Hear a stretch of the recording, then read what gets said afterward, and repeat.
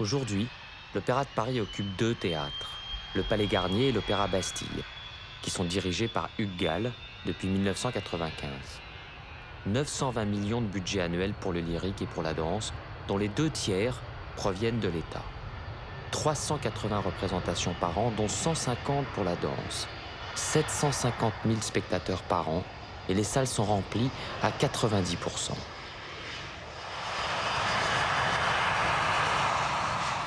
J'ai suivi le corps de ballet pendant trois mois en 1999. En avril, 71 danseurs partent danser la 9e symphonie de Béjar au Japon.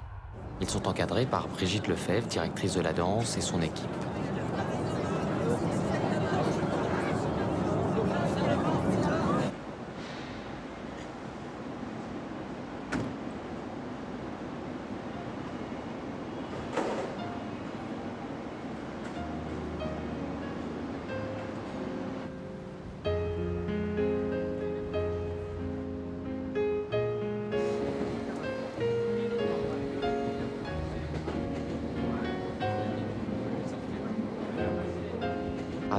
De repos, les cours reprennent dès le lendemain matin, 11 heures.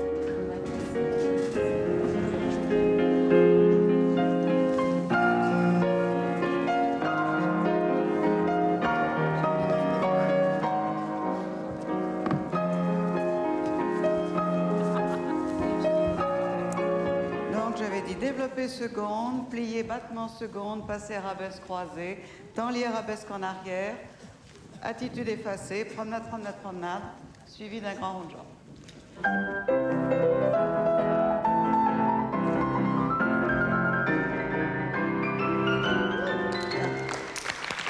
Super.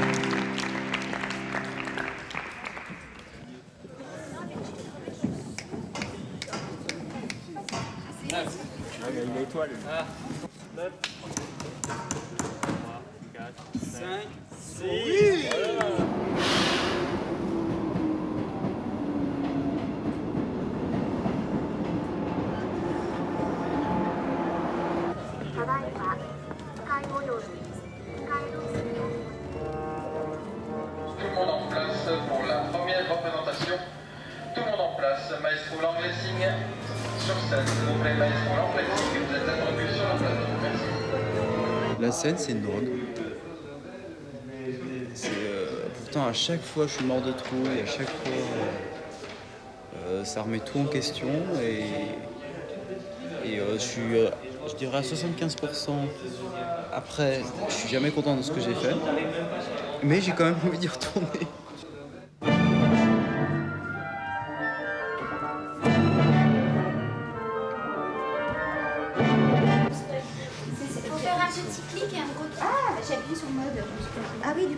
Attends.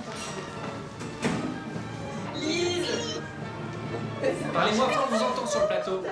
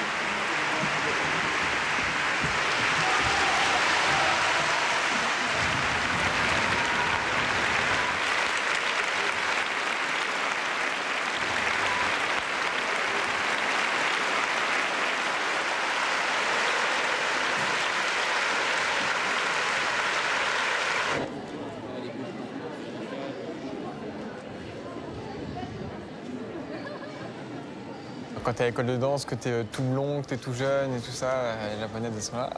C'est comme, euh, comme Michael à la sortie d'un concert.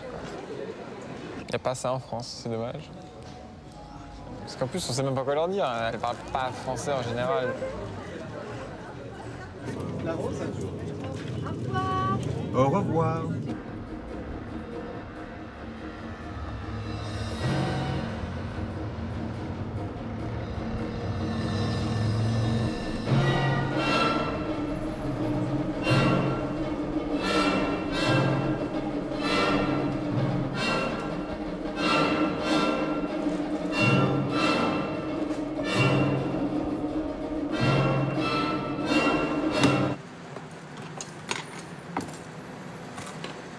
Pour quel spectacle? Je me prépare pour le ballet de Pierre Darne, Horizon.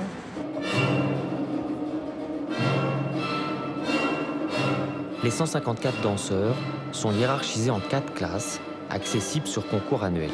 Quadrille, coryphée, sujet et premier danseur. Seules les étoiles sont nommées par le directeur de l'opéra sur proposition du directeur de la danse. Le salaire moyen d'une étoile est de 35 000 francs par mois. Le salaire de base d'un quadrille est de 13 000 francs.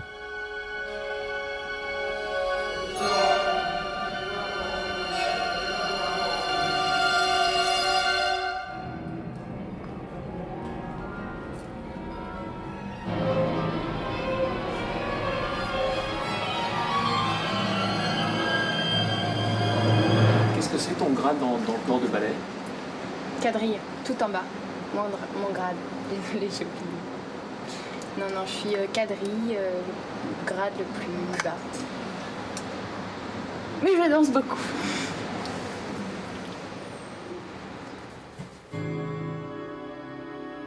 Ce soir au programme, trois ballets.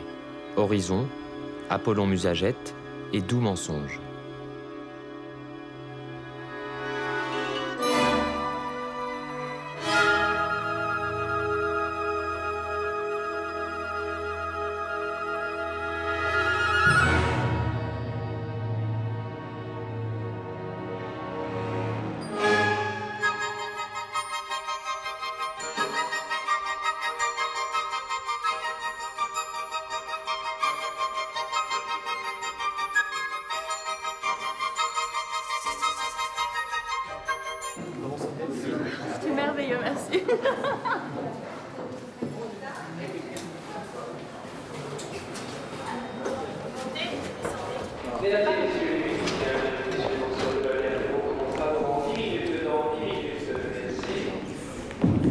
Échauffement avant le deuxième ballet. Moi, je pense que si je suis devenu danseur, c'est parce que je ne savais pas parler quand j'étais quand j'étais petit, quoi, et que c'était un moyen d'expression formidable. Et à la fois, il y avait une dimension physique, j'avais besoin de me dépenser. Il y a un côté challenge dans la danse, que moi qui me euh, qui me qui vraiment qui m'éclate. Maintenant, là, le challenge m'intéresse tout autant, mais le, le- le côté artistique, le côté vivant, être vivant en scène, ça, ça m'intéresse. J'ai envie de vivre des choses à fond. J'aime la danse, mais en fait, euh, je, je le vis, quoi. C'est pas... Le verbe aimer est trop faible pour, euh, pour danser. Danser, c'est... Je, je peux pas le mettre sur le verbe aimer, quoi. C'est, dévorer, c'est... c'est... Plus fort qu'aimer, quoi. J'ai eu une période assez mystique où je voulais rentrer au couvent. Mais je pense que je suis un peu trop charnelle pour avoir fait ça. Mais je voulais pas rentrer au couvent pour me renfermer, hein, mais pour. euh, Enfin, c'était l'idée que que j'avais, mais. Enfin, vivre quelque chose tellement à fond que, que la vie quotidienne serait moins importante. Et c'était peut-être l'ima- l'image que j'avais de, des, des sœurs.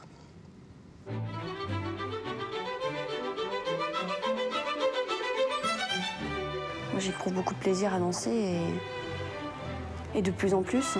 De plus en plus, je me laisse porter par la musique et par mes humeurs, mes sentiments, euh, ce que j'ai envie d'exprimer. euh, Et rien, ne- rien de négatif n'arrive dans, dans le passage en scène.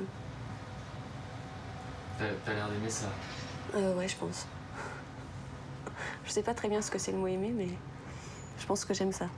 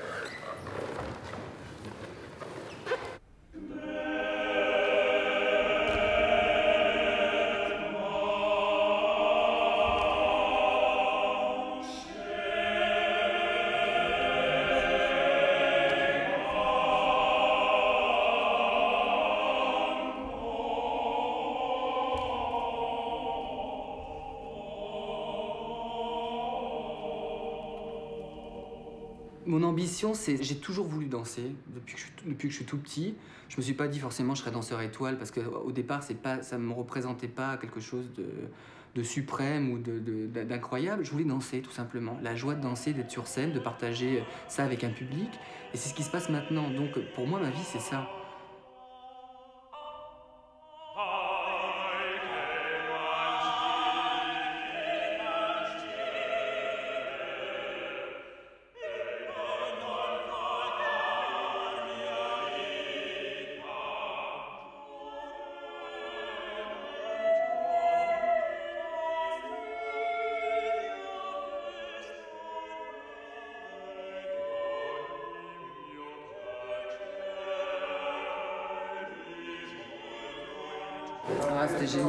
On est un peu triste parce que c'est la dernière, là, mais ouais.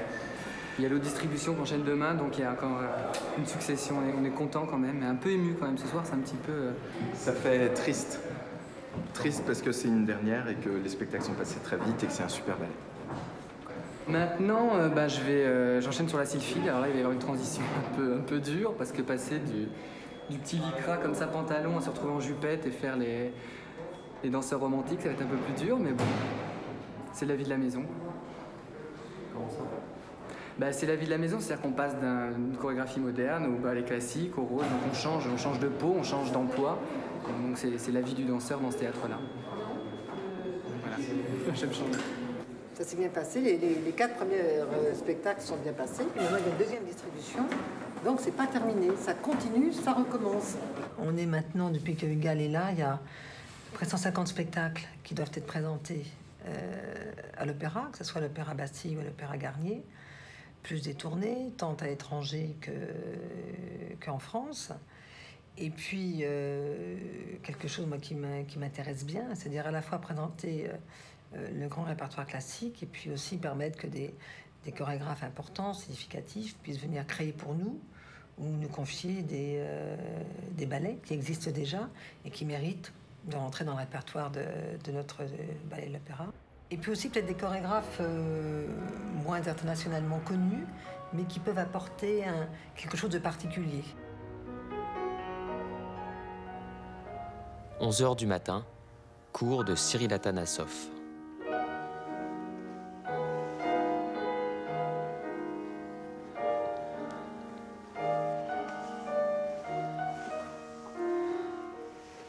On est éduqué de- depuis toute petite. hein. Donc en fait, je sais pas si, vraiment euh, on, a, euh, on a une rigueur spéciale et euh, un comportement spécial. Peut-être les gens de l'extérieur le verraient plus sur nous. Mais nous, on est conditionnés depuis euh, 9 ans à être, à être autonome, à être discipliné, euh, à savoir ce qu'on veut. Même enfant, les temps de jeu, c'était très restreint.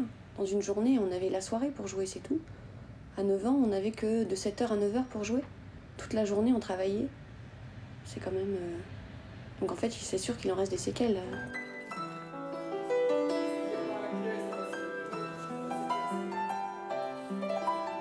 On peut pas faire la fête tous les soirs, euh, voilà.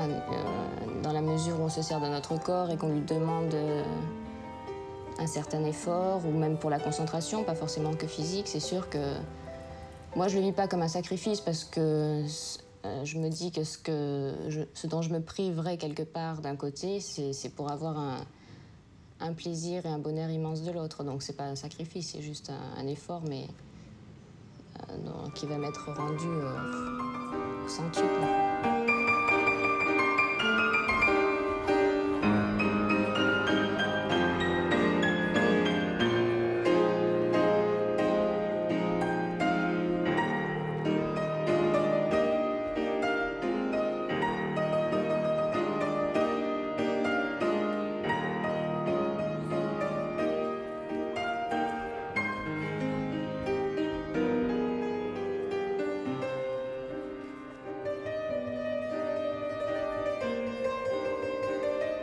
T'es tout le temps en train de travailler, t'es tout le temps en train de te regarder dans la glace, t'es tout le temps en train de voir tes défauts parce que forcément c'est ça que tu dois travailler. Donc tu te remets en question, tu tires sur tes muscles, tu travailles tes pieds, tu travailles tes bras, tu travailles ton dos, tu travailles tout. Donc euh, je sais pas si un danseur peut dire oui, je m'aime physiquement. Je pense que ça n'existe pas. Je peux, ça peut pas exister d'ailleurs. En tournée, on n'a pas de glace. On est souvent sur le plateau où on va danser. Donc il euh, n'y a pas de glace face à nous. Et donc euh, bah, en fait, je regarde par terre pour voir mon ombre. Et je corrige mes mouvements par rapport à mon ombre par terre. Comme ça, si je vois un pied en dedans, tout ça, je le vois dans mon ombre. La tombée. Glissade, entre 5, développé. Et les filles, retirez. Quatrième. Les chorégraphes contemporains, très souvent, euh, quand ils arrivent ici, ils cachent la glace parce que euh, c'est vrai que le danseur classique a tendance à certainement à trop, à trop s'observer, à se corriger par rapport à la glace et, et pas travailler assez sur des sensations. Mais le, miroir, euh, bien utilisé, à mon avis, est un instrument de travail formidable.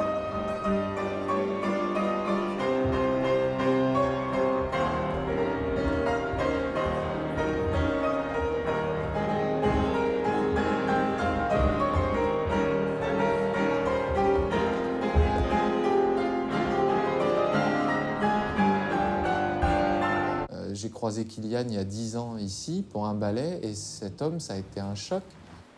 14 heures. Répétition de la deuxième distribution du ballet de Jerry Killian avec Miteki Kudo, Lionel Delanoë, Céline Talon et Wilfried Romoli. Yes, beautiful. I think you should, you should almost, almost put, put, your, put your body on her like that. Maybe, maybe bend a little bit forward. Here, like that, yeah.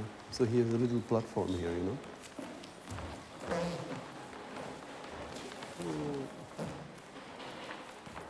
Yes, yes, yes, yes, yes. It's okay. It's okay. Okay, I think we should start.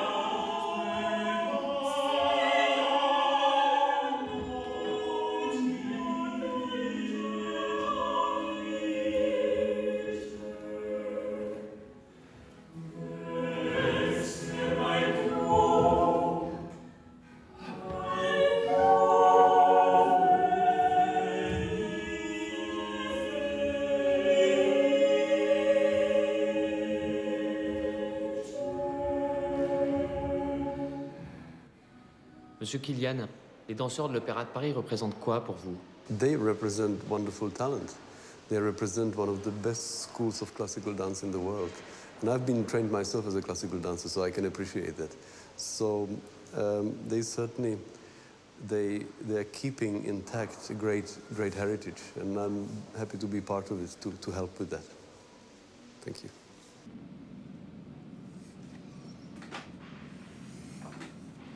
Et puis la peur, elle est présente parce que parce qu'on a plus ou moins, on a tous plus ou moins le trac quand même. Moi, je, l'ai- oui, je, je- je commence à le dominer. Oui, maintenant, ça va mieux. Mais je, je, je l'ai eu euh, très fort au, au point qu'à un moment, je me suis demandé si j'allais pas m'arrêter à cause de ça. quoi.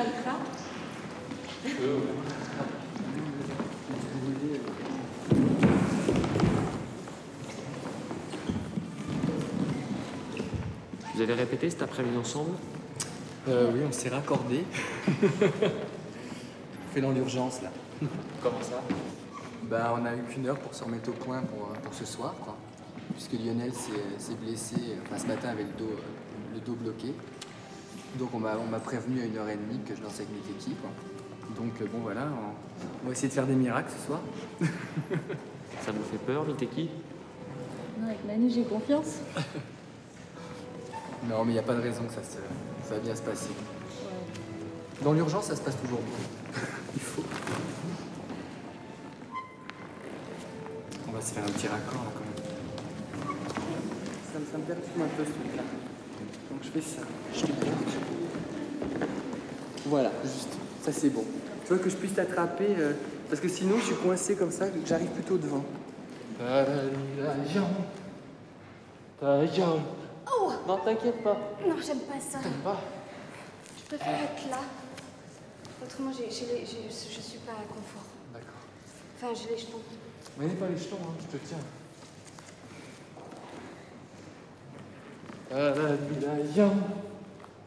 Papa. Ah bah tu, attends, là t'es sur l'épaule. hein. Là, t'es sur l'épaule. Hein. Je peux pas plus et je. Ah. Non, là. Mais moi, je te sens bien, je te sens en équilibre, je sais pas. Là, je sens plus que tu me tiens la jambe. Ah, j'ai. J'ai Là, je sens plus que tu me tiens la jambe. Tu peux essayer de me la. D'accord. Ça va, ça va? Comme ça.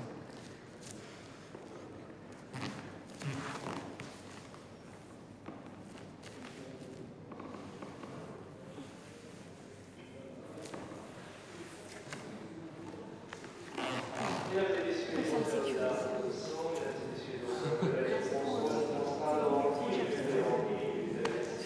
Ah non, n'aie pas peur, hein, je te tiens, et puis au pire, je referme le bras droit. je- Tu sais, j'ai une sensation, je fais le scorpion, quoi. J'ai les pattes qui Ouais. comme ça. Mais surtout, bou- bouge pas, parce que alors là, par contre, je pourrais me faire mal et puis je pourrais vraiment te, te rater si tu donnes l'énergie. je me suis ragrippée à ton doigt. Mais t'inquiète pas, je te tiens bien, ça va. Au pire, ça ira un tout petit. Il suffit, si je sens que ça va vite, je remonte le bras droit pour te refreiner. Si je veux accélérer, genre Moi, lâche le bras surtout droit. pour mon, pour mon crâne, c'est là, là, chope-moi les jambes. D'accord.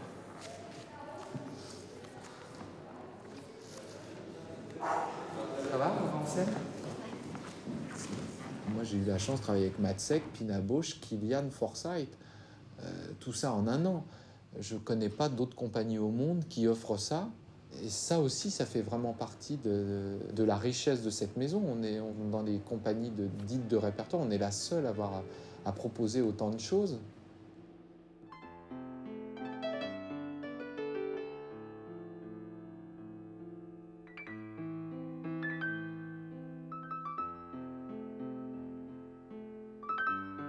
Je pense que si l'Opéra de Paris est considéré comme la meilleure compagnie du monde actuellement, c'est en grande partie parce qu'il y a une école qui existe, il y a des bons professeurs, il y a une directrice, Claude Bessy, qui est une femme formidable, qui a fait un travail remarquable.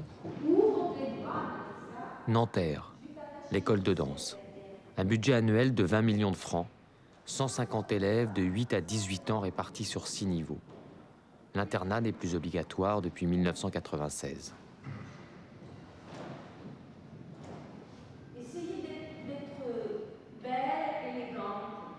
J'ai quand même toute une série de gamins qui ont passé leur bac cette année. Et euh, bon, on est assez content des résultats parce que j'estime que c'est nécessaire qu'il y ait quand même une scolarité euh, qui soit suivie, euh, que les parents considèrent que c'est aussi important que la danse, parce que ça aussi, il a fallu le faire admettre. que C'était pas que la danse, qu'il arrivait un accident, il arrivait qu'un enfant ne veuille pas continuer la danse, il, peut arriver plein de choses dans la vie. Et qu'est-ce que fait l'enfant avec juste ses, son école de danse? Il ne trouvera pas de travail.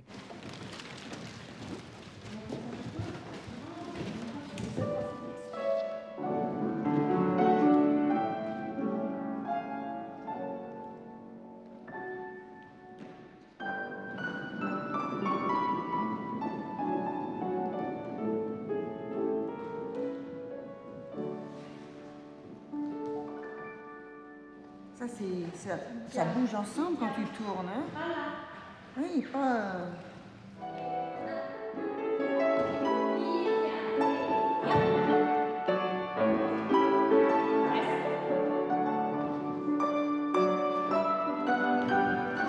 Là-dessus. Avance. Baisse pas ton bras et... Voilà. Ne fais pas un, après tu tournes, il s'ouvre là, il Voilà. là. Il n'y a ça pas besoin d'appuyer en bas. hein. Voilà, simple, voilà, c'est tout, c'est tout. Voilà, c'est tout. hein. Et regarde bien à la hauteur. hein, parce que tu regardes par terre. Vous êtes très timide. Quel, quel- quel âge vous avez? 14 ans. 14 ans. Et vous êtes dans quelle division? Troisième. Et il y a un examen prochainement Mais vendredi. Vous avez peur? Dès cet âge, elles sont en rivalité avec les autres, puisque ce ne sont que les meilleurs qui passent dans la classe au-dessus chaque année. Donc il y a une rivalité permanente et euh, le système ne marche que sur la compétition. Chaque année, il y a un concours et seulement les deux, trois ou quatre meilleurs montrent dans la classe au-dessus. Et cela continue jusqu'au moment où l'on est nommé première danseuse. C'est un petit peu une machine à broyer les faibles, hein, parce qu'il n'y a pas de place pour les faibles quand on rentre dans ce système. La barre, c'est une appui, c'est pas une bouée de sauvetage. Allez, pars sur tes deux jambes. Tu dois être au-dessus, Marie, de ton travail. Au-dessus. Et tu es en arrière, Marie. Au-dessus. Et maintenant, tu dois me tirer ta pointe, Marie. Et être au-dessus de ton travail, Marie. Ça vient pas assez bien, Marie. Tu travailles pas assez comme il faut. Et c'est aussi Alors, extraordinaire parce que il faut une telle résistance physique, résistance psychologique et nerveuse, un grand, grand contrôle sur soi-même, et en même temps, il faut pouvoir donner le maximum.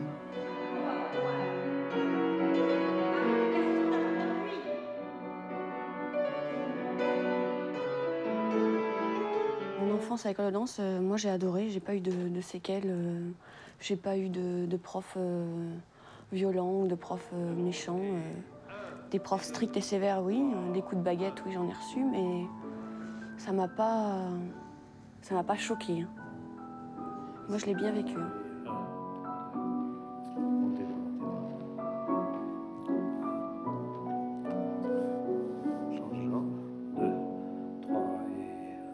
Je l'ai pas très bien vécu parce que je trouvais que ça manquait d'humanité, ça manquait de sensibilité, ça manquait de. Je, je trouve que c'était c'était très dur, mais en même temps, c'est ça qui caractérise l'école de danse. quoi. C'est un peu contradictoire. C'est une école formidable, on- ça, ça forge le caractère. Donc je suis rentrée à l'école- dans le corps de ballet, j'avais le, le caractère bien forgé, comme, comme tous ceux qui rentrent dans le ballet. Un petit pas, un tout petit pas. Un en l'air et deux en bas. Cinquième, fond d'écoulement effacé. Attention à votre écoulement. Et un et deux. Qui a été plus dur, c'est les douleurs morales que physiques, parce que physique, tu sais que tu vas souffrir, tu sais que c'est pas complètement naturel, tu sais qu'il va falloir que tu travailles, tu sais qu'il va falloir que tu souffres. Ça, c'est inscrit et on l'accepte, mais les douleurs morales, c'est difficile quand tu es petit à encaisser et à, et à assumer. Qu'est-ce que c'est la douleur morale? Bah, la douleur morale, c'est euh, des réflexions, c'est euh, c'est des petites phrases qui te, qui, te, qui te démoralisent, ou tout d'un coup tu te remets en question et tu te dis Ouais, ils ont raison, je crois que je suis pas faite pour ce métier. Donc c'est des, des dures réflexions quand tu es une gamine, quand tu as 12 ans et que tu te dis Oui, peut-être qu'elle a raison, peut-être que je suis pas assez douée, ou peut-être que je travaille pas assez, ou peut-être que je suis pas, je suis pas faite pour être dans ces étoiles. Donc dès tout petit, tu es confronté à ce genre de, de réflexion et c'est pas facile. Deux,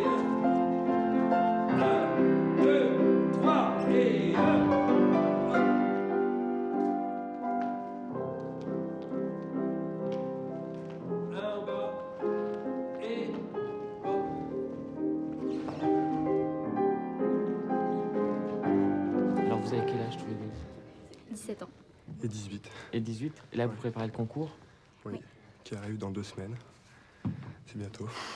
Qu'est-ce qu'il peut y avoir après le concours? Ce qu'il peut y avoir, euh, si nous entrons, nous entrons pas dans le corps de ballet, il faut passer d'autres auditions à l'extérieur qui nous permettraient de travailler, parce que sinon, sans ça, c'est euh, pas de travail. Et ça fait peur? Oui, un petit peu. Vu vous, avez, que vous avez peur tous les deux On a le trac quand même. Ouais. C'est normal. Qui est vrai, c'est que bon, euh, on espère tous l'opéra. Donc c'est vrai que si on n'entre pas, euh, ça fait mal au cœur quand même. Alors tu me disais que vous vous maquillez quand alors? On se maquille le matin pour toute la journée, surtout pour le cours de danse. hein. Parce que c'est euh, c'est important d'être maquillée pour une danseuse, parce que on doit être, on doit être jolie quand même. Ah t'es jolie sans maquillage, hein, moi je suis sûr. hein. C'est gentil, mais non, je pense que. Pardon Oui. Tu, tu pensais quoi? Non, je pense quand même que c'est important pour une fille euh, de se maquiller. Et toi, par exemple, tu fais la révérence ou pas, quand tu croises euh, Oui, oui. les gens Ah oui, oui. Ah oui, Ouais. c'est, euh, c'est, c'est un, c'est un respect envers euh, nos professeurs et même si après je suis plus dans cette école, on fera toujours la révérence si on les croise.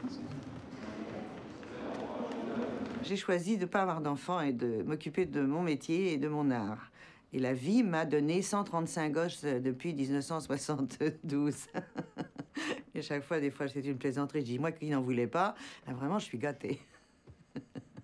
Déjà, quand j'étais petite, la danse m'était enseignée par des gens qui n'en avaient pas, qui n'en concevaient pas, qui ne- n'envisageaient pas de mélanger la danse et la vie de famille. Donc forcément, les petites phrases, c'était euh, euh, tu dois te consacrer à la danse, euh, ne te marie pas, si tu fais des enfants, ça va te déformer le corps, ce qui est vrai. C'est vrai que quand on est, quand on est seul, qu'on n'a personne d'autre à s'occuper, qu'on est, on, on est face à son miroir, on a beaucoup plus de liberté et de temps. Mais en même temps, je trouve qu'on s'enrichit moins vite et que le danger, c'est de tourner en rond et c'est de ne pas avancer. Alors ça demande beaucoup d'énergie, une famille, des enfants, c'est vrai. Et en même temps, il y a des joies et à la fois aussi euh, des souffrances parce que c'est- dur. Enfin, je veux dire, il y a des emplois du temps qui sont forcément doublés par rapport à, par rapport à un simple contexte professionnel. Mais il y a tellement ça, c'est tellement enrichissant. Moi, depuis que je suis père, j'ai pris du poids en scène. Ça me donne de la force. Moi, j'ai fait Miteki, j'étais une jeune danseuse étoile qui venait d'être nommée, presque. Ça faisait deux ans et demi. Tout le monde m'a dit, mais tu es folle, ta carrière. Moi, ma carrière, je voulais pas faire une carrière, je voulais danser, mais je n'avais pas l'ambition de devenir... euh, et c'était important pour moi d'avoir un enfant et de m'épanouir en tant que femme pour pouvoir redonner en tant qu'artiste. Pour ma part, je pense que je ferai un enfant quand, euh, quand ce sera le moment dans ma vie de femme. Ma, carrière, ça me fait toujours rire ça, euh, bon, c'est secondaire. Concrètement, les, femmes euh, à l'opéra, elles ont quand même des enfants euh, plutôt à la trentaine qu'avant, plutôt vers l'âge de 30 ans. Donc c'est vrai qu'elles mettent du temps à accepter l'idée, enfin c'est vrai que c'est encore une idée de danseuse comme ça qui passe à autre chose. Euh, ça n'allait pas trop pour moi, parce que un- quand j'étais petite, déjà je me disais que je serais danseuse étoile, bon ça c'est raté, mais que j'aurais des enfants jeunes. C'est pas, pas quelque chose que je remettrais en question, une envie. hein. Après il faut avoir envie et il faut avoir le papa. Mais j'ai le papa et j'ai l'envie, alors euh, ça va venir je crois. Ça va venir bien. C'est venu d'ailleurs, ça y est. non, c'est terrible. T'es enceinte Ouais, ouais, ouais, je suis enceinte. Je suis enceinte, euh, je sais pas depuis longtemps, hein. je sais depuis une semaine. Et, euh, et alors le pied d'aller en scène euh, enceinte, quoi.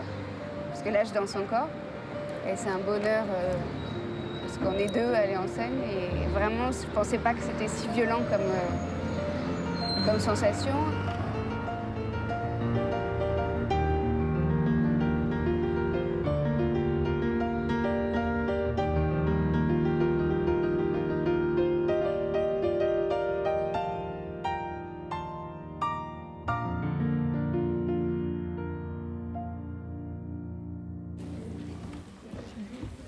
Corps de ballet, répétition du lac des cygnes.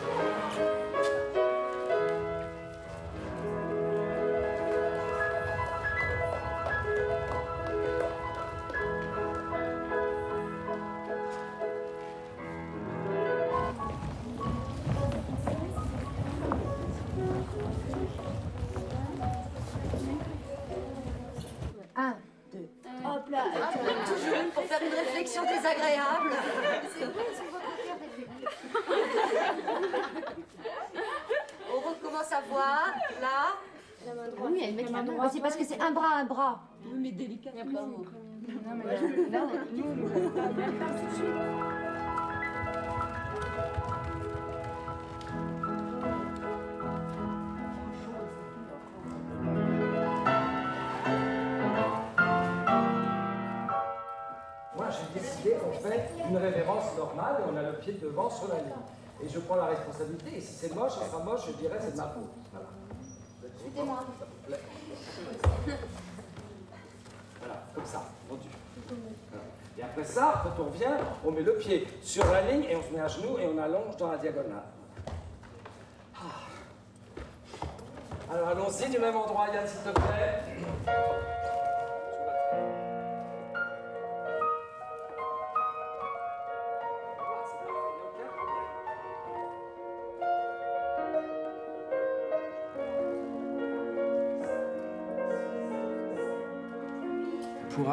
À s'exprimer totalement euh, en tant que soi-même, il faut passer par un couloir qui s'appelle le, le travail de corps de ballet et créer une homogénéité. Mais je crois que ça fait partie du talent de pouvoir démontrer ce qu'on a à dire au milieu du groupe tout en restant euh, rangé. C'est ce que je dis quelquefois. Pensez que vous êtes toute l'étoile. C'est comme ça que ça doit sortir. Vous devez donner comme si vous étiez seul au milieu. Et vous devez donner. C'est en- encore plus difficile que d'être seul au milieu, quelquefois, parce qu'il faut essayer de sortir ça en étant rangé en ligne, je sais. Mais c'est ça qui donne une vie à un spectacle.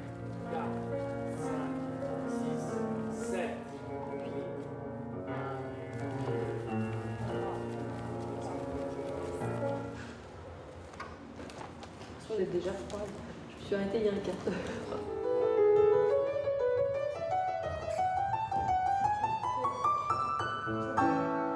Du lac des cygnes, les solistes.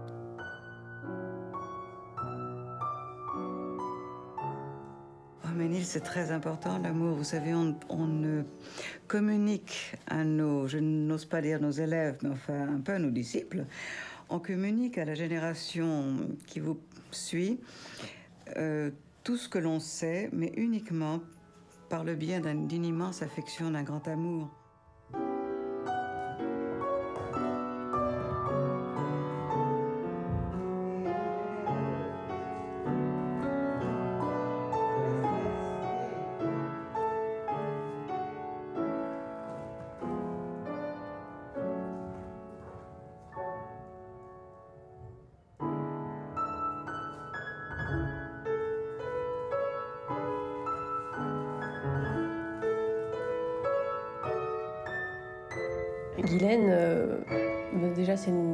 De la danse, euh, c'est une grande danseuse.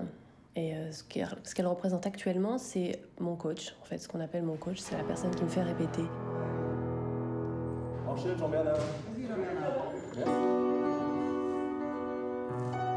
Elle fait travailler un rôle par rapport à ce que moi je suis, pas par rapport à ce que elle, elle a été. C'est-à-dire, elle ne se projette pas, elle, comme danseuse, euh, dans, dans- dans ma répétition et dans ma façon d'interpréter un rôle. Et tout d'un coup, c'est comme si tu recevais quelque chose et tu n'es plus toi-même. Et tu peux fixer en bas et ton regard monte et ton regard n'est plus le même.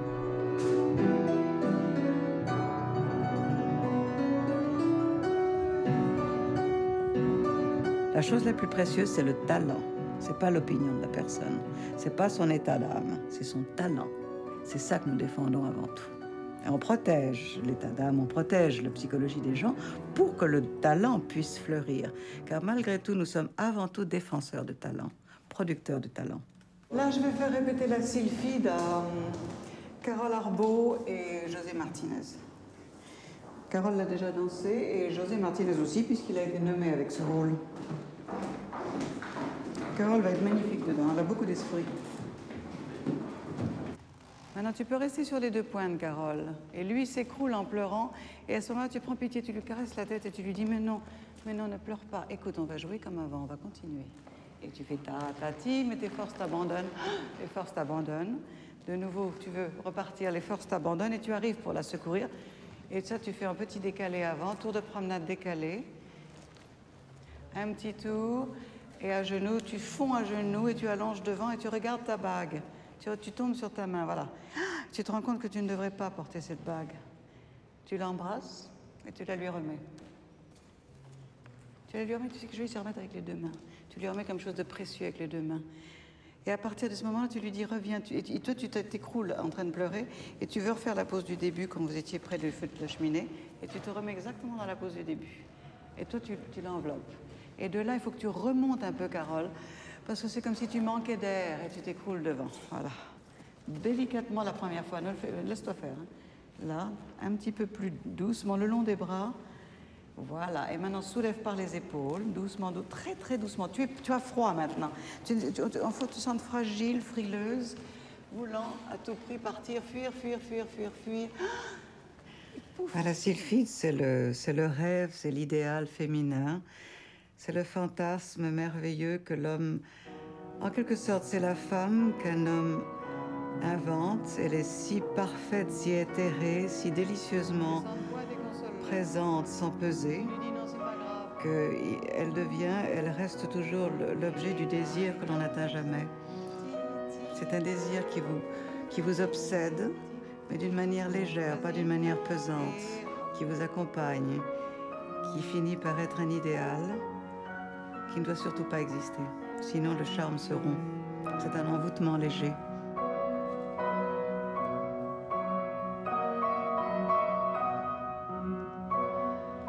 Tu la regardes et tu pleures. José, tout de suite près d'elle.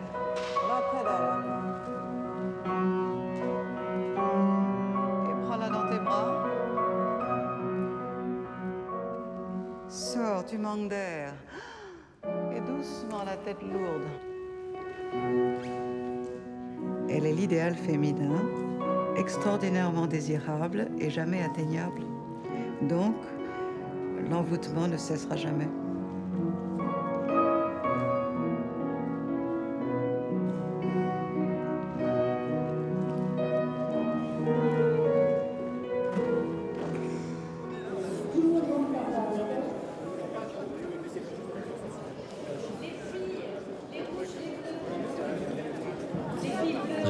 De la sylphide, créée par Philippe Taglioni en 1832 et revue par Pierre Lacotte.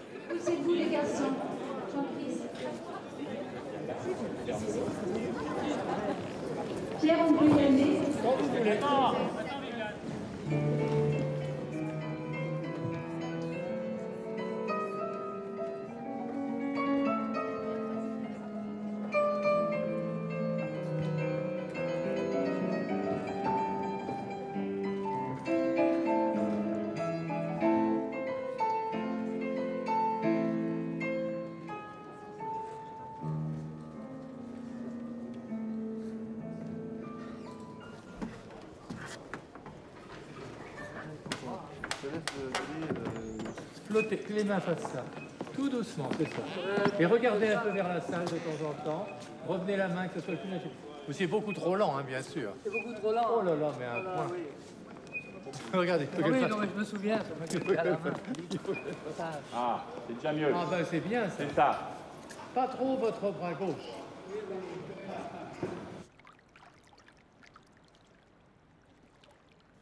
Marius Petitpas a créé le lac des Cygnes en 1895. En 1985, Rudolf Nureyev, alors directeur de la danse, a monté sa propre version.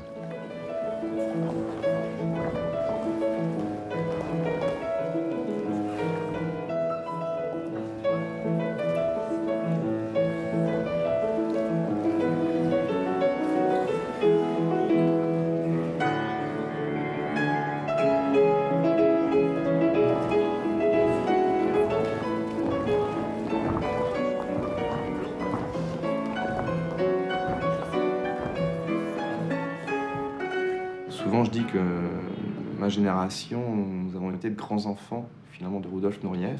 Je pense que c'est vrai. Il n'y a pas eu que lui.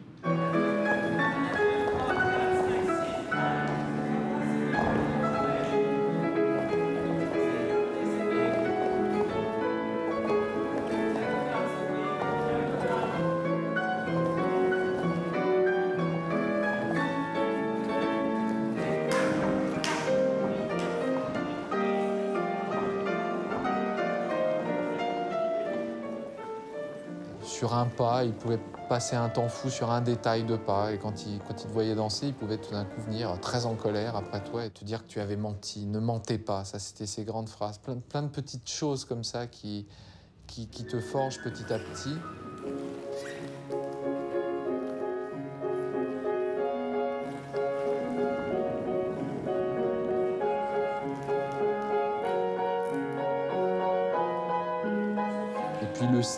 Puis une forme aussi un, mimétisme qui s'est créé à force de le voir danser nous montrer les pas, une manière de se tenir, un port de tête, une, une manière d'être en scène euh, qu'on a, euh,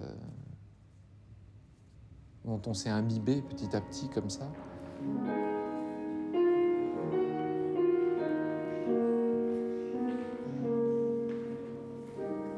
Je lui dois vraiment tout. Sur le métier que je fais actuellement, oui, j'estime que je lui dois tout. Mais je le pense vraiment, donc je tiens à le dire. «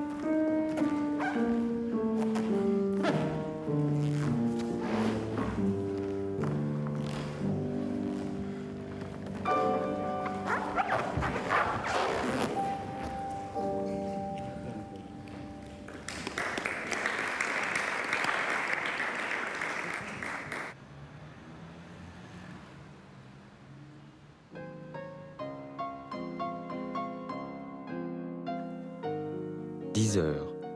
Cours de Noël à Pontois.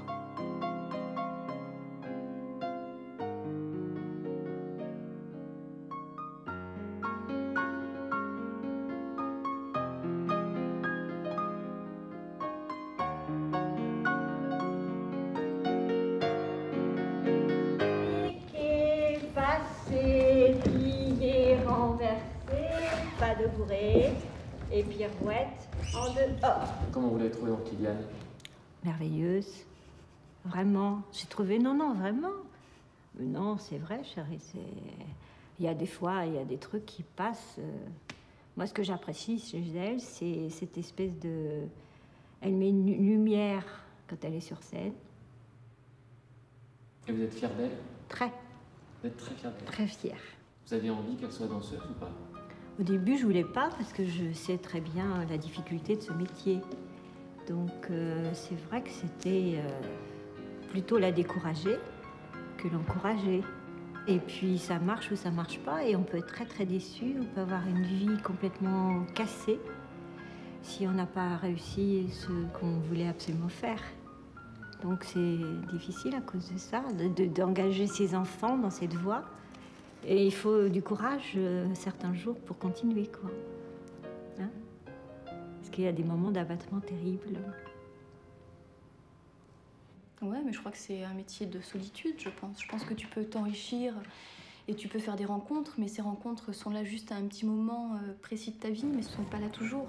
C'est très, c'est très solitaire comme métier, ça j'en suis sûre.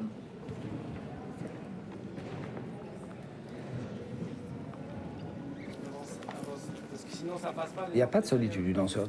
Déjà au départ, c'est un métier d'équipe. Quand on rentre dans un corps de ballet, on rentre dans un groupe, on rentre dans une équipe, on fait un travail d'équipe. Ce que- ce qu'on sort sur scène avant d'arriver soliste, c'est quelque chose qu'on produit à plusieurs. Même si on souhaiterait que chacun ait sa place, on est tellement nombreux que. Et puis le système aussi est comme ça, avec ce système très hiérarchique, avec les concours chaque année à l'école de danse, les examens, avec euh, euh, la possibilité d'être envoyé. Enfin, tout ça, ça fait, ça met une pression. Qui fait que c'est difficile de, de lier vraiment des amitiés euh, entre danseurs. quoi. On a du mal à connaître vraiment les gens en profondeur, de les, les- les voir. euh, bon, on vit ensemble, mais sans vivre vraiment ensemble. Donc c'est vrai que c'est la partie dans l'opéra qui, est- qui est assez difficile. C'est c'est une sorte de société, à, petite société euh, miniature, où tous les caractères sont exacerbés. Quand tu connais les mêmes filles, les mêmes mecs depuis euh, 10 ans, enfin, c'est énorme de passer son, son enfance, son adolescence, sa vie d'adulte avec les mêmes personnes autour de toi. euh, que tu n'as pas forcément choisi, tu changes pas d'environnement jamais, tu changes d'environnement. À l'opéra, depuis tout petit, tu fréquentes tous les jours, tu les as dans les Ouais, ça, c'est pour les monde. filles, tu les as, tu vois, tu les as au concours de promotion, tu les as dans les coulisses, tu les as sur scène, tu les as dans les studios pour travailler, tu te disputes avec lui, mais le lendemain, tu l'as avec, tu t'es encore avec. Et en même temps, il y a d'autres choses formidables. Il y a, une forme d'amitié, même si on ne mange pas ensemble le soir, même si il y, a, une fraternité qui existe aussi et qui est extraordinaire. On se retrouve aussi comme des gamins, comme quand on avait 10 ans et à faire les zouaves. Euh, J'ai certains copains ici et il y a des moments où on fait les zouaves, mais vraiment comme quand on avait 10 ou 14 ans. Ben voilà, à l'Opéra de, Paris, je sais pas pourquoi, bon, euh, ma future épouse est danseuse et euh, mon meilleur ami, c'est Wilfred Romoli et il est danseur aussi.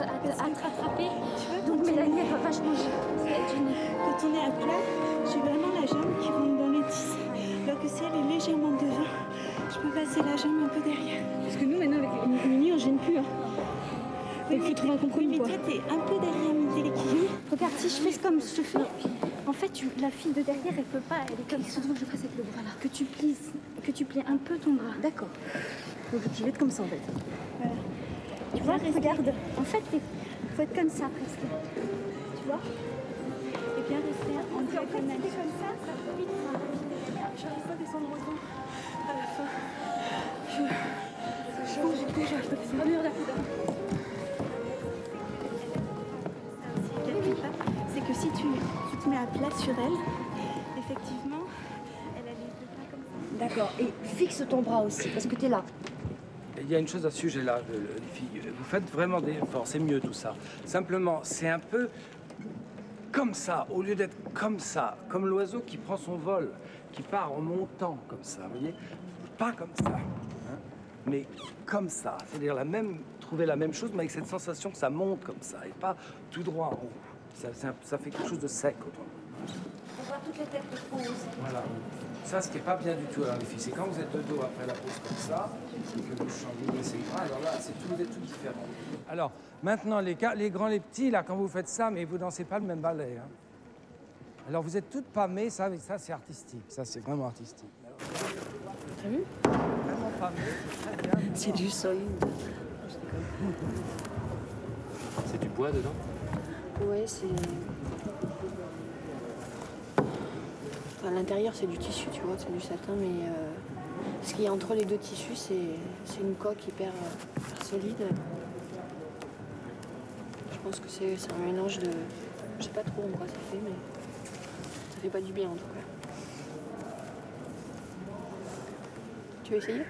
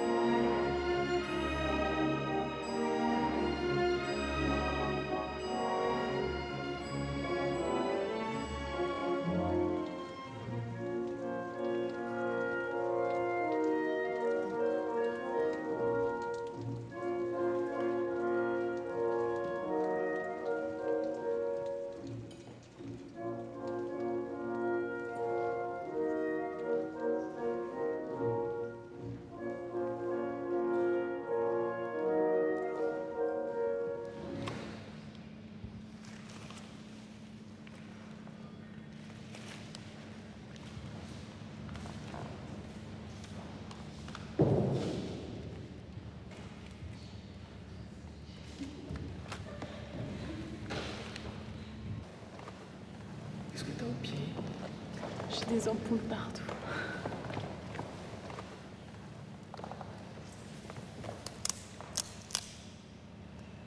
C'est dû aux, aux pointes. Ouais.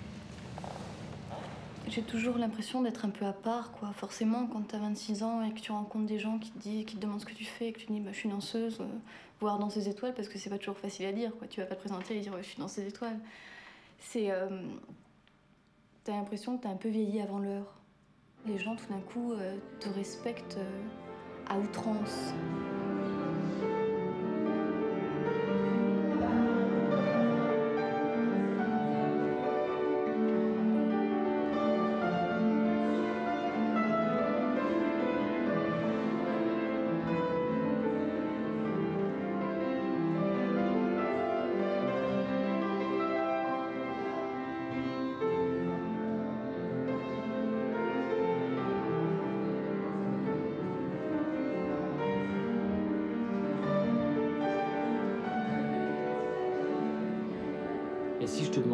De, la passion?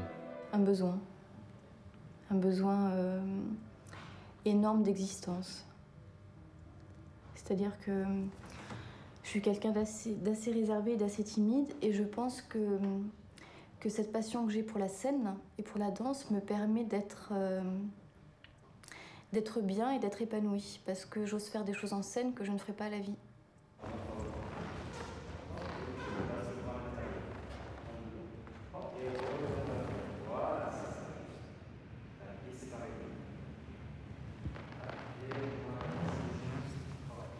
Je me suis fait une fracture de- du cartilage euh, deux mois après ma nomination.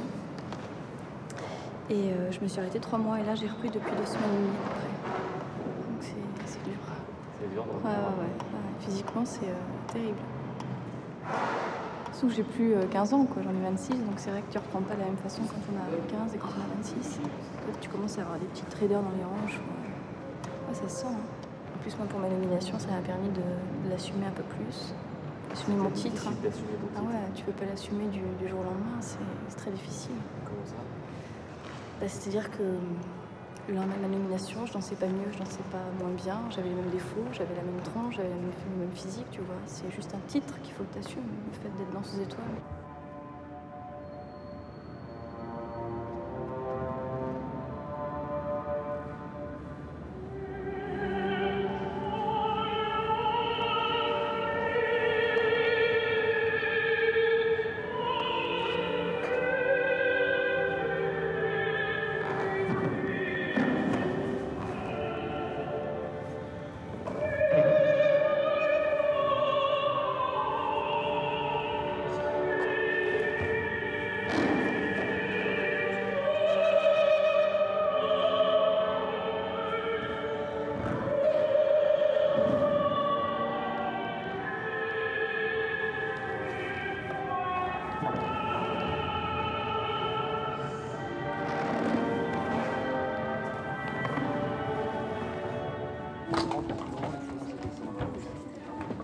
Répétition en scène de la sylphide.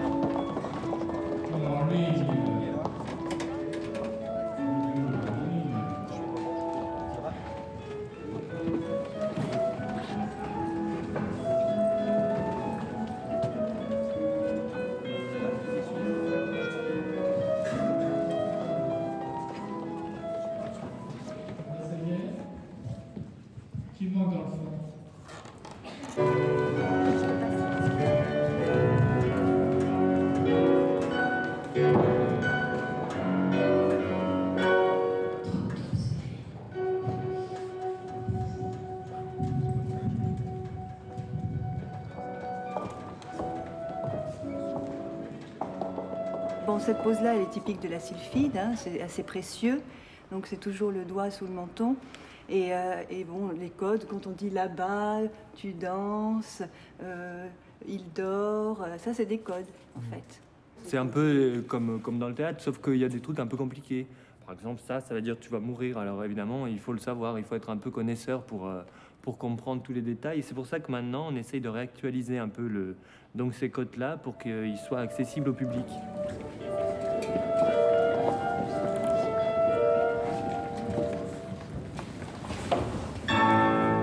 Agathe. C'est curieux, quoi. Je sais bien qu'il y a beaucoup d'art. Voilà. Allez.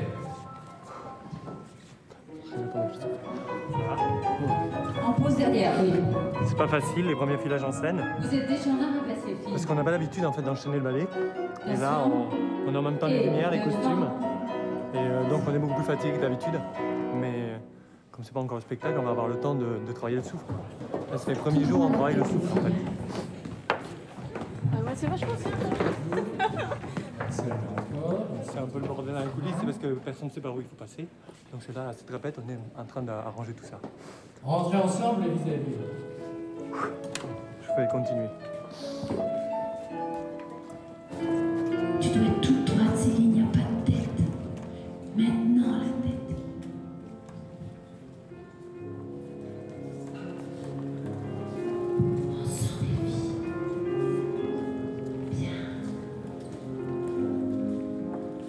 Alors j'ai été réformé parce que j'ai un souffle au cœur en fait de naissance.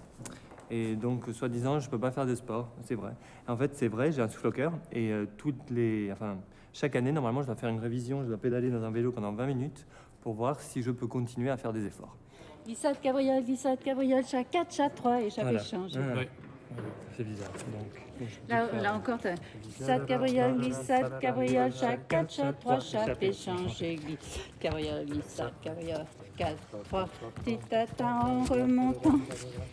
Chaque, chaque 4, chat 3, oui, pirouette. Chaque 4, chaque Crochet. 3 échappé sans changer. Ouais, la fin je la sais. Euh, mais ces tours-là, les faites pas trop lents. hein. Oui, oui. Il faudra bien voir, euh, Guylaine, au planning, là, pour bien séparer le lac de la 9e et, Et tu pouvoir faire la préfères qu'on attaque ça après ton premier spectacle du lac Qu'est-ce que tu préfères Mais mon premier spectacle du lac, c'est deux jours avant la session. Ah oui. Et toi, Il tu... faut tout attaquer en même temps. Ah, moi, jusqu'au- jusqu'à la sylphide, moi je répète Ouais. aussi le Et lac, mais moi je lance le lac après.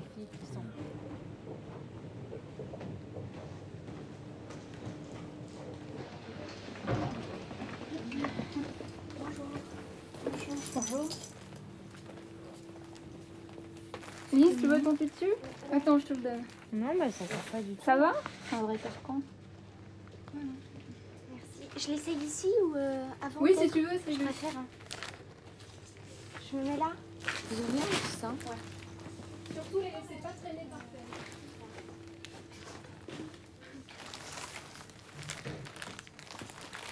Merci. Ça vous dérangera pas de vous renseigner pour, Ça y est, je me euh, suis renseignée, j'ai pas de tutu.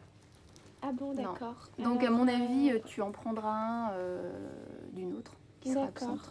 Mais c'était pour Voilà. savoir. Ouais, ouais. Par euh, contre, je peux te donner ta coiffe. euh, oui, mais là, je risque pas de danser aujourd'hui, donc. Mais tu la laisses à ta place. Tu as une place, de toute oui, façon. oui, j'ai une place. Comme ça, tu... Voilà. Merci.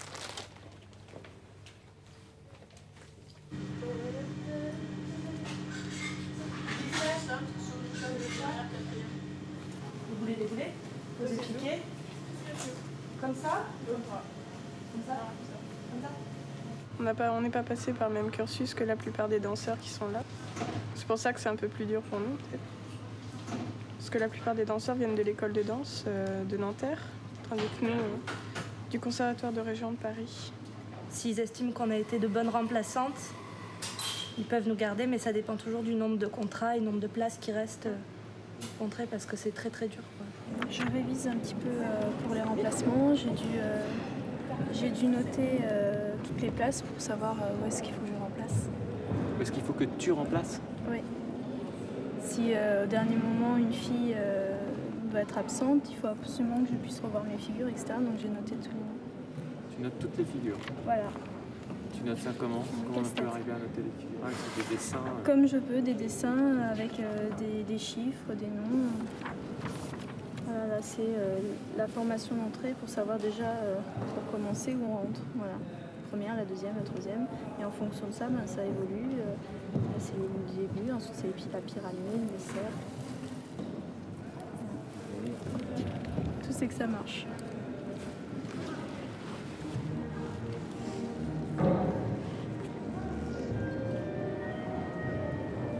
Répétition en scène du lac des Cygnes.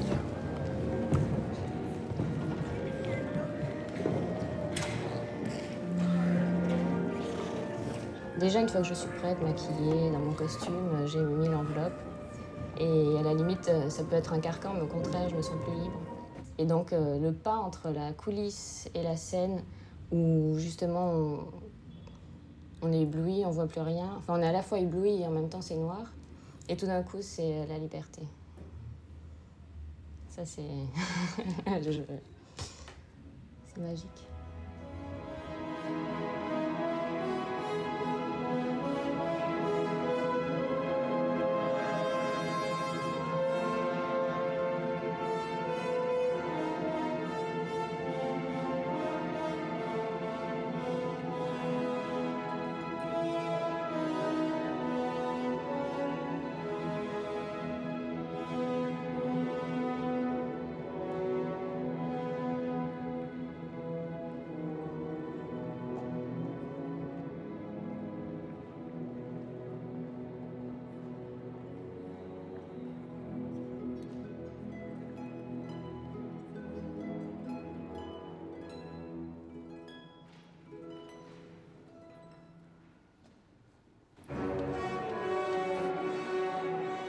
Pense à ce que l'on donne pour quelques instants en scène, c'est hallucinant. C'est-à-dire qu'on peut travailler pendant six semaines d'affilée un rôle, penser à ça toute la journée, faire des tas de sacrifices, c'est-à-dire euh, plutôt que de sortir, se fatiguer à faire autre chose, on est là à vouloir récupérer ses forces pour pouvoir donner le maximum à une répétition et tout, pour ces quelques minutes de spectacle. Un de fou. Ça n'a pas de prix. De toute façon, ça n'a pas de prix. C'est une vraie passion.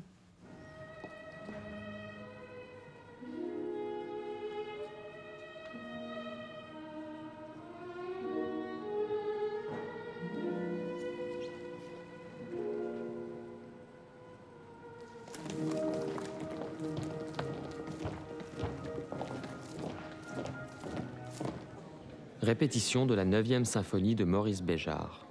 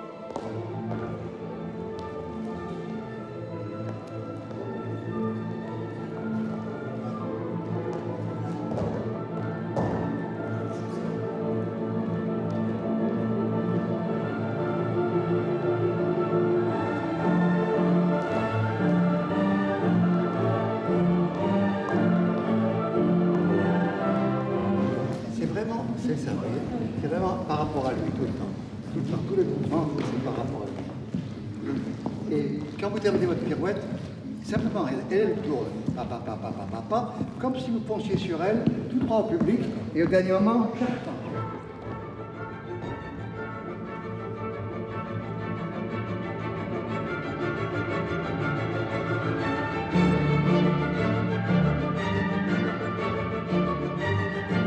Moi, j'ai travaillé à l'opéra, je la première fois en 63 ou 64, avec la nation de Faust. Et c'est troupe que j'ai vu évoluer, que j'ai vu grandir, se transformer. Eu des, des amitiés, des- des- euh, j'ai travaillé, j'ai fait des créations mondiales comme l'oiseau de feu. Donc, c'est une troupe que je, à la fois je connais beaucoup, mais euh, les troupes changent tout le temps. vous voyez. Je crois qu'en ce moment-ci, ils font un très très bon travail. Je crois que la troupe euh, évolue de façon très positive. et grâce à Brigitte Lefebvre. Je peux le dire parce qu'elle n'est pas là. Qu'est-ce que vous pensez qu'elle a apporté à la- au corps de ballet? Mais je crois qu'elle elle, elle connaît bien la maison, elle a compris la maison, elle a compris l'esprit, et puis elle les fait beaucoup travailler. Et je crois qu'un danseur qui travaille beaucoup, euh, c'est très important. Ça devient des sportifs de haut niveau, avec en plus une, ouverture sur des chorégraphes très différents.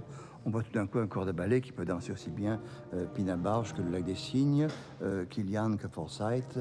Moi, je travaille beaucoup avec eux, donc je suis une très très bonne troupe.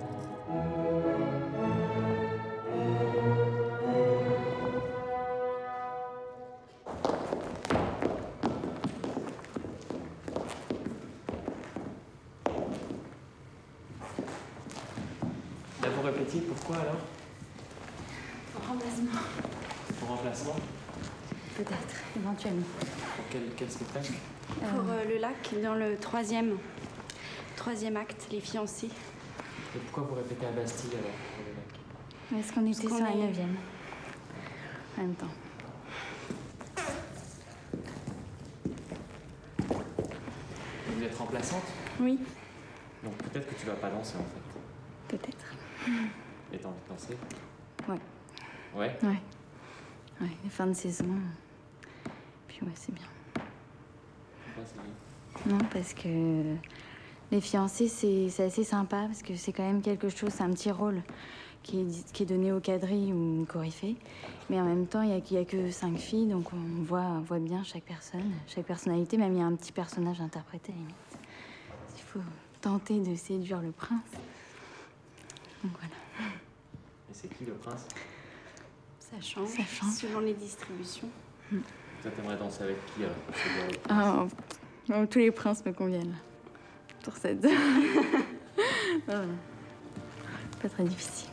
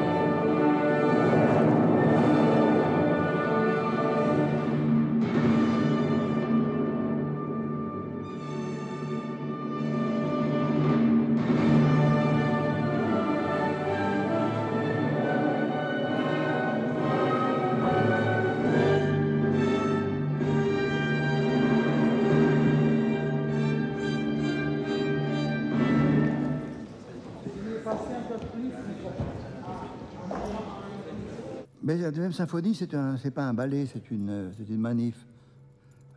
Euh, c'est un, euh, c'est un concert dansé, c'est, c'est beaucoup de choses, mais c'est sûrement pas un ballet. Et à, Bercy, c'est sa vraie place. Parce que je veux qu'on le voit en rond, je veux qu'on le voit avec les gens tout autour, et je veux qu'on le voit pour un public populaire et pas, pas uniquement des ballettomanes. Aussi des ballettomanes, mais pas uniquement. Et si, et si je pouvais pas le voir, si je vous demandais de me, me raconter le ballet? Me raconte pas un ballet. Vous raconteriez une peinture Bah non. Alors, Et si j'étais aveugle Oui. Eh ben. euh, Vous auriez envie de dire quoi Oui, ben, je vous raconterai une histoire, mais pas le ballet. Et l'histoire, ce serait quoi? Tous les hommes sont frères.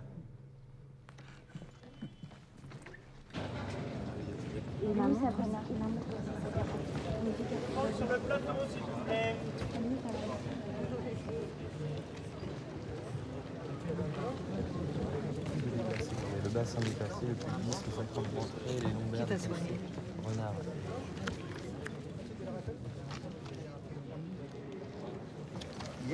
Et ça a été difficile d'être la fille d'une d'une danseuse étoile ou pas alors? Ouais, c'était dur.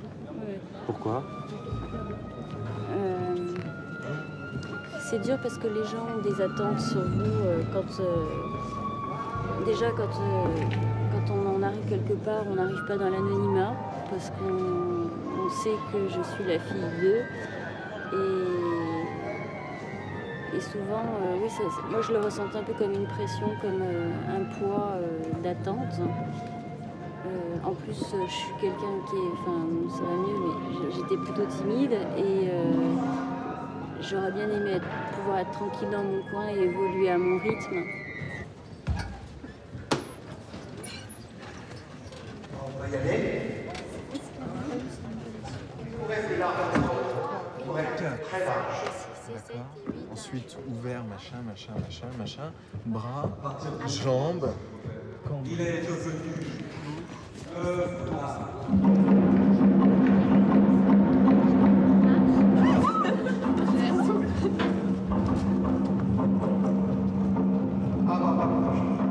Donc il n'y a pas des 1, des 2, des 3, des 4, des 5 et des 6, et des 7 et des 8. Il y, a des, euh, il y a des phrases musicales, des phrases rythmiques, ça fait papam, pam, pam, pam. Comme là. Il suffit d'écouter la musique. Quoi. Voilà. C'est plus la mélodie qui m'intéresse que le, que le côté conte. Sinon, après, j'ai l'impression d'être une espèce de robot qui doit faire, euh, qui doit exécuter des choses à certains, à certains moments.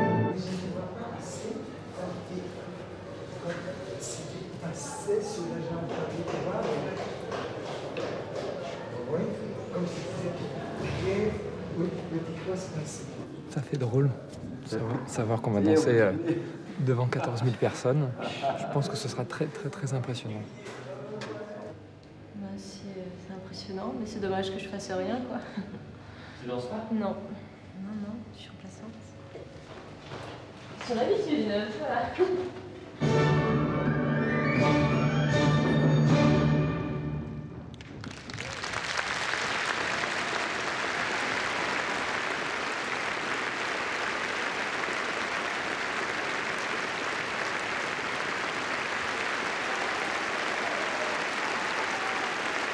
Est-ce que tu penses à ce que tu vas faire euh, après la danse? Euh, moyennement. J'ai déjà passé mon DE parce que je m'étais dit qu'un accident est vite arrivé et que du jour au lendemain, tu peux te retrouver euh, sans pouvoir danser. Donc j'avais passé mon diplôme de, de professeur. Mais euh, penser réellement à ce que je vais faire, non, je sais pas vraiment ce que je vais faire. C'est vrai que l'idée d'arrêter la scène, c'est quelque chose d'assez, violent. Je, commence à y penser, déjà pour, m'y préparer. Et, je sais que ce sera douloureux, je me le cache pas. Peut-être beaucoup de danseurs à cette question me diraient Mais non, il y a plein de choses à faire dans la vie. C'est vrai qu'il doit y en avoir plein à faire. Il y en a, il y en a plein à faire, mais, euh, mais je sais que ça me manquera. Quoi. Ça me manquera terriblement. La retraite est à 40 ans pour les femmes et 45 ans pour les hommes. À partir de ce moment-là, ils ont une pension. J'ai fait cette grosse sottise que personne ne doit faire ça, je trouve. Un beau jour, prendre ses chaussons, les mettre sur la table et dire c'est fini, ne plus faire de bar, ne plus prendre de cours. Pendant les six premiers mois, c'est délicieux. On dit, mon Dieu, je me réveille, je fais ce que je veux, je dispose de mon corps, de mes journées. Et en fait, ce qui s'est passé pendant ce temps-là, c'est que le corps, la musculature du corps, du corps se tasse petit à petit parce qu'il n'y a pas cet euh, entretien quotidien musculaire qui vous redresse la colonne vertébrale, toutes les articulations. Et au bout de six mois, j'ai commencé à avoir un petit peu mal partout euh, parce que mon corps se tassait. Et comme j'avais malheureusement tendance à avoir un terrain arthrosique, ça a été effroyable. En l'espace de deux ans, j'ai d'abord perdu 2 cm. C'est vous dire à quel point on se tasse. Et j'ai commencé à avoir de sérieux problèmes d'arthrose. Il faut surtout, surtout ne pas s'arrêter du jour au lendemain. Moi, je ne serais pas quelqu'un qui va euh, couper le cordon ombilical tout de suite. Ton autre métier, euh, tout à l'heure, tu me demandais euh, est-ce que tu as préparé ta reconversion? Bah, mère de famille, peut-être, c'est bien comme reconversion. C'est un deuxième métier. Ça se fait c'est à plein de temps, c'est bien. Je trouve que c'est pas mal comme deuxième métier. Mère.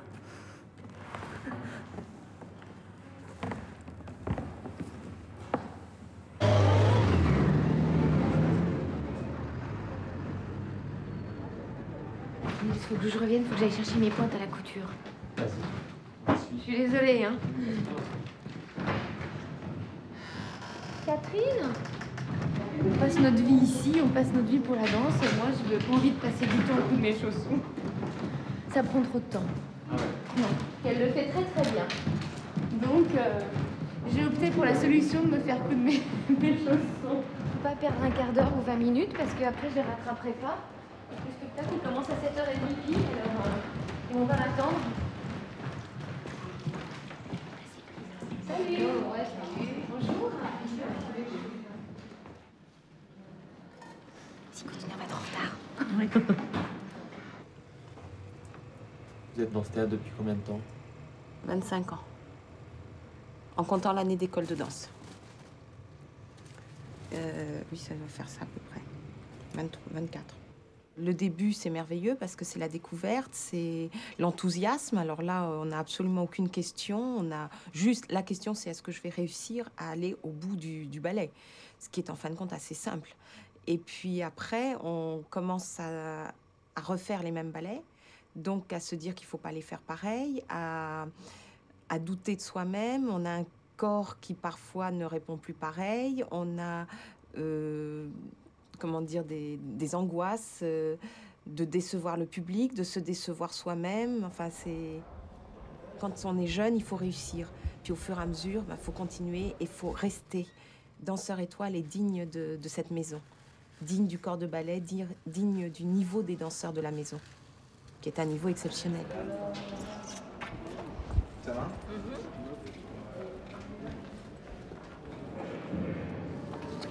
Ça représente quoi les adieux de Blatel? Oh bah, c'est euh, c'est une génération euh, qui se finit, une nouvelle qui commence.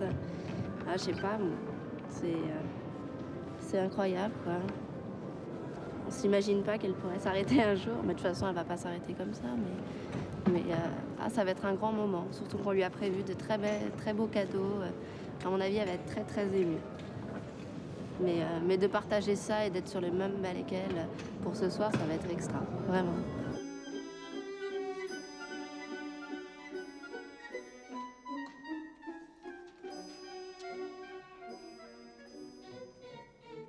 Il y a le moment de solitude avant d'entrer en scène.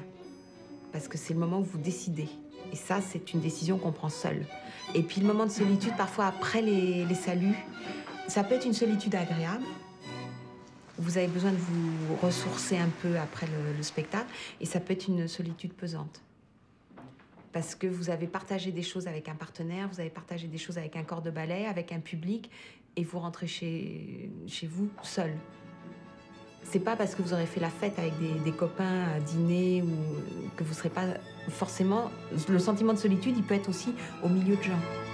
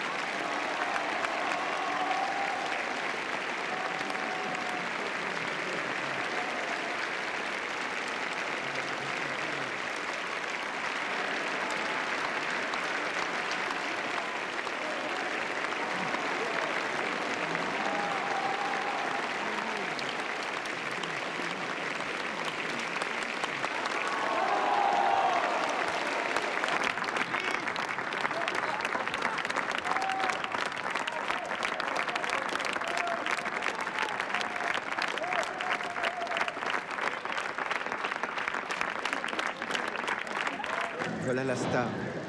La star, elle va s'échanger pour qu'on puisse boire le champagne. T'en bois pas trop, quoi. Ah, mon aile, voilà, ça y est, je peux plus voler. Suzette ne vole pas. À tout de suite.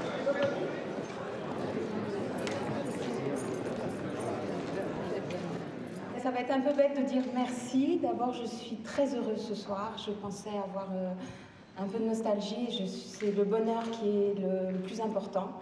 Parce que j'ai dansé, parce que j'étais avec euh, la compagnie que j'aime, avec des danseurs que j'adore. J'ai vraiment dégusté chaque seconde euh, pleinement. Le spectacle, je ne l'ai pas vu passer tellement il était agréable à faire. Euh, je l'ai vécu avec vous. Et j'espère vous avoir apporté beaucoup de bonheur. Et puis à vous tous, danseurs surtout, continuez à aimer la danse et continuez à aimer cette maison parce que ça vaut vraiment le coup. Et c'est vrai que j'ai un peu laissé tomber des amis, j'ai un peu laissé tomber même ma famille. C'est un peu triste, mais bon, euh, je pense pas que 40 ans ce soit une date euh, terrible. Et j'espère que je vais pouvoir maintenant, c'est respirer un autre rythme. Parce que notre rythme est un rythme très rapide et un rythme qui peut être très prenant et un peu bête. C'est-à-dire qu'on prend le cours, on va répéter, on danse. Et ça peut vous suffire largement. C'est grisant parce que vous ne vous posez plus aucune question, vous n'avez que le spectacle, euh, vous vous concentrez, vous vivez de grands moments, des grands moments de, communion avec euh, les partenaires, avec le corps de ballet, avec le public, mais en même temps, c'est... Est-ce que c'est la vie?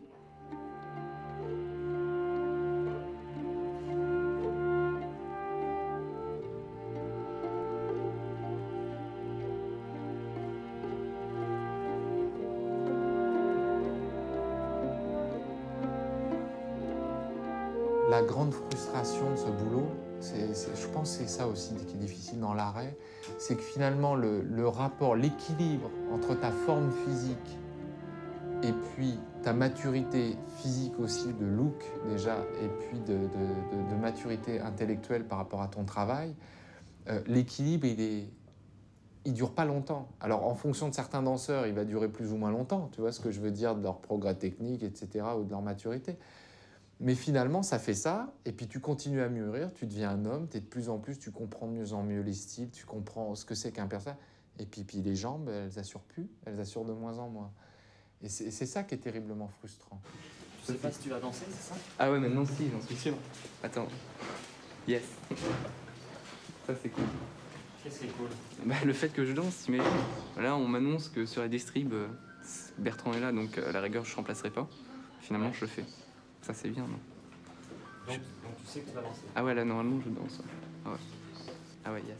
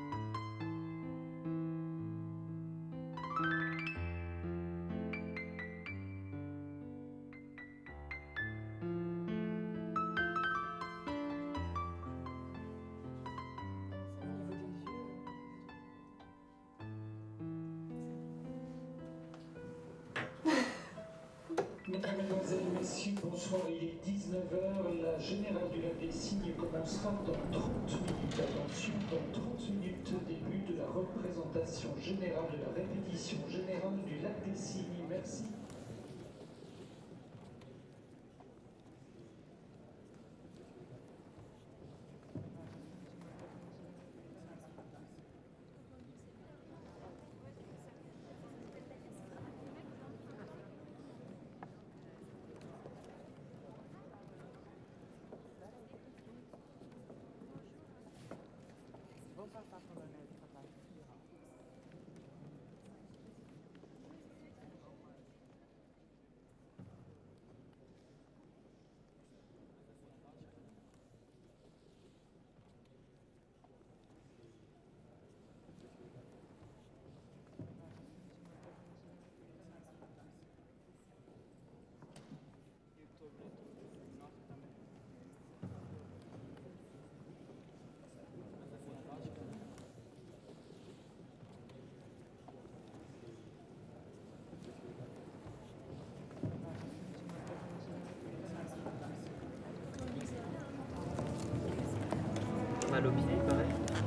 Moi, j'ai un super corps infecté. Je suis sous antibiotiques, oui. Tu danses quand même Oui, oui. Et puis, on oublie le mal. Hein. En scène, euh, on oublie beaucoup de choses, hein, de rien. Ça passe.